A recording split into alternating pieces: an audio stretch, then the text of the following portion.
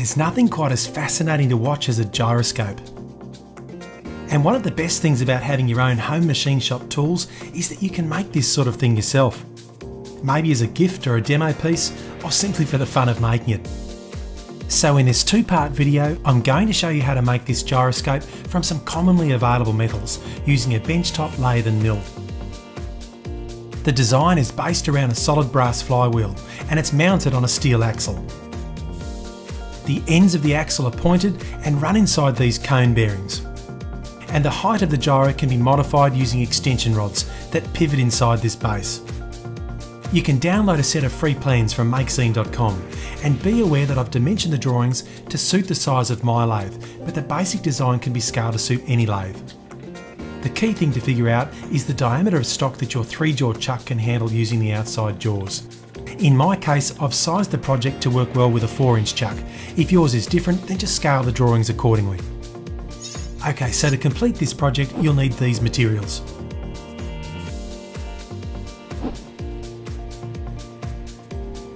Now you might already have the small rod sections you need for the project in your scrap drawer.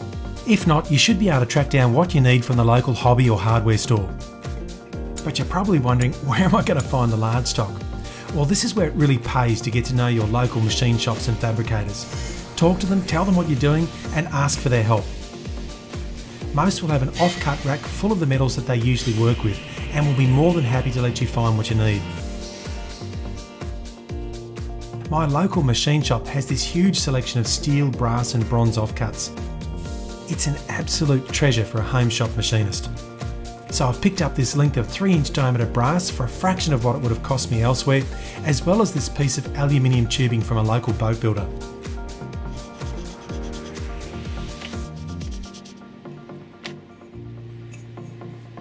And if you don't have a metal cutting bandsaw, while you're still there, see if you can get the machine shop to do the cutting for you. They're usually happy to do it for a small cutting fee, and it sure beats using a hacksaw.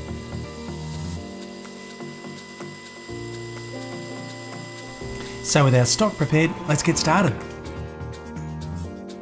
The first part we're going to make is the flywheel. Now the brass stock will have rough edges at this point from the saw cut, and we really need smooth surfaces for marking out, so it's going to need some facing cuts to clean it up. Using the outside jaws, secure the workpiece in the chuck and then face each side. As you face that second side, bring the workpiece to final thickness.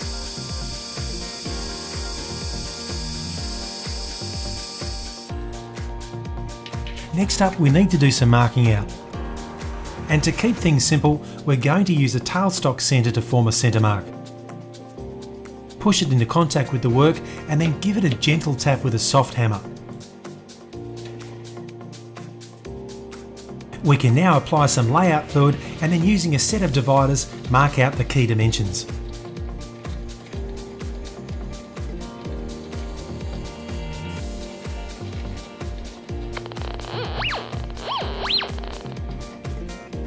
Okay, so this is the cutting tool we're going to use to form the recess in the flywheel. Its shape means we can use it to cut both left and right, and it's also got a lot of clearance on the front and sides so that it doesn't rub on the sides of the recess as we cut.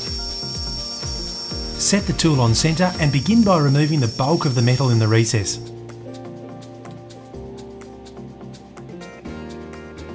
When you get close to depth, rotate the top slide of the lathe to 20 degrees and start forming the outside tapered shoulder, this time by feeding in with a top slide hand wheel.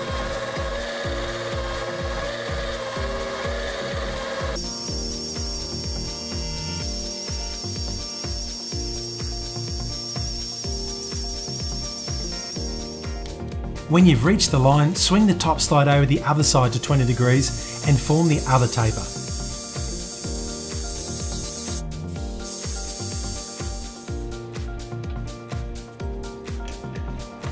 Okay, now we're going to form the hole for the axle, and we really do want this hole to be right on centre. So start out with a spotting drill, and then follow with an undersized drill bit, and finally a reamer. Now if you don't have a reamer, you can simply drill the hole to final size, but the fit on the axle may be just a little bit loose.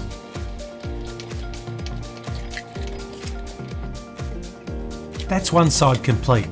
So remove the work and now load that off cut of aluminium because we're going to make one of my favourite shop accessories, a custom superglue arbor. And we're going to use it to hold the wheel for the next few operations.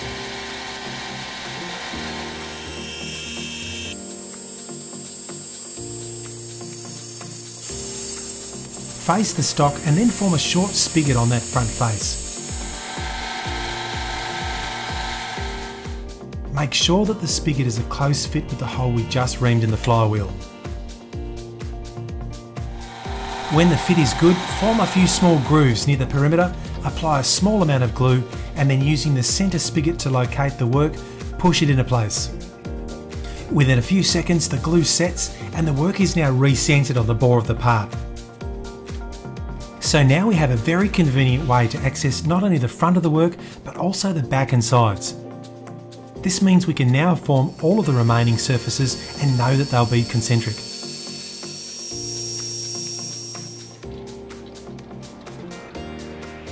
Off camera I've turned up this simple centering button to locate the dividers for marking out the second side. Once that's complete we can do the same grooving operation as the first side.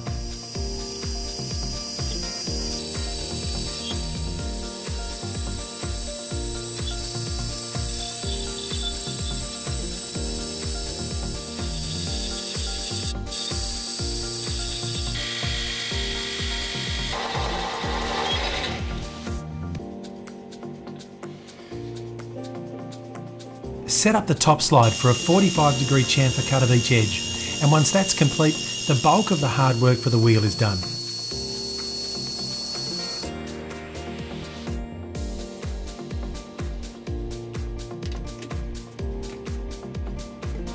Now using a little heat from a propane torch, break the superglue bond.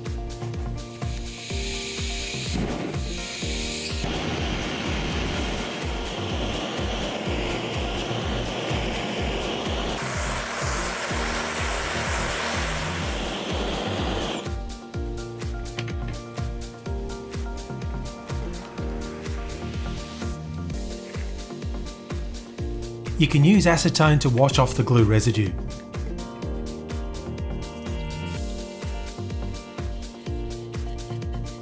Next we're going to set the work up on the mill to make the hole pattern and ideally we'd locate the work using a dial test indicator but if you don't have one here's a workaround that'll get us pretty close. Turn a 60 degree point on a piece of steel, load it in the chuck and using the quill gently push it down on the central hole.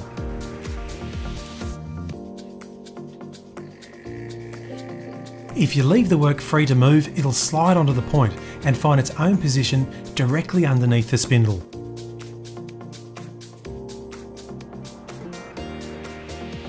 While it's being held in place, you can clamp it down. Reset the hand wheels or the digital readout if you have one, and you've very quickly found the centre of your workpiece. Now it's not perfect, but it's certainly close enough for what we're doing with this project. I'm going to use this end mill for the final hole size, but since the metal is not very thick where we're cutting, I'm using a spotting drill to remove most of the metal first. And I've got the coordinates nearby to help me avoid making any mistakes. A four hole pattern is certainly the easiest to make, but if you're comfortable dealing with the hand wheel backlash or you have a digital readout, then I think the six hole pattern is the way to go.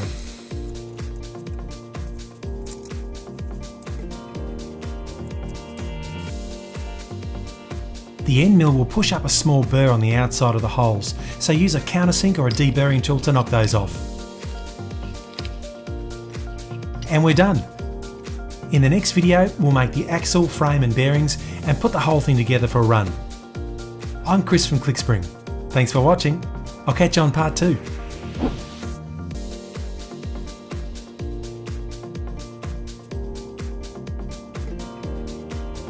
If you liked this video, subscribe to our channel or send us a comment on Facebook or Twitter.